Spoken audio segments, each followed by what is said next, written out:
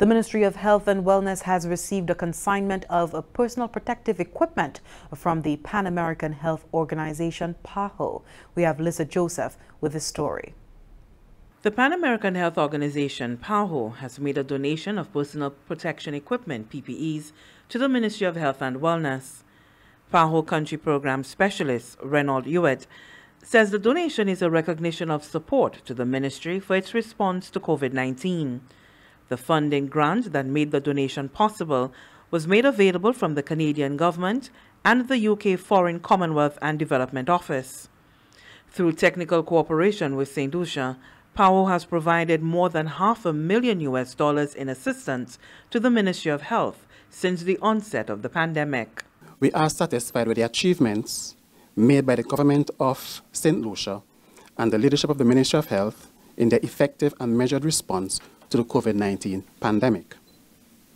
It is anticipated that the PPEs will support infection prevention and control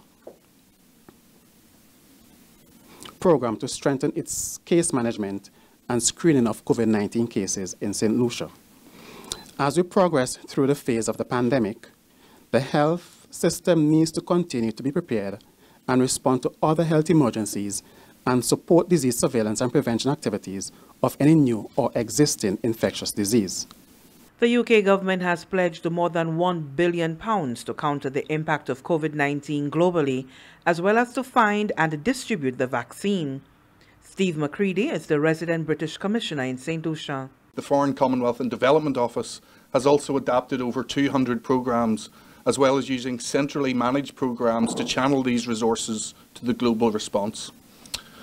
I'm very delighted that the UK has supported PAHO's COVID-19 response here in the Caribbean uh, through the World Health Organization and topped this up with further support to eight Caribbean states throughout, uh, throughout the Caribbean. And this has been done through the Caribbean Development Team of the Foreign Commonwealth and Development Office. This has, uh, this has uh, resulted in a combined total so far of 55 million Eastern Caribbean dollars being used in the Caribbean to combat coronavirus. St. Lucia is also benefiting from the commitment of the Government of Canada to the global COVID fight. The Canadian government has provided $5 million to the region. St. Lucia has been allocated $700,000 in equipment. This follows diagnostic equipment that was presented to the Ezra Long Lab. We have here PPEs, but there's also medical respirators, me medical um, and respirators, masks and face shields and so on.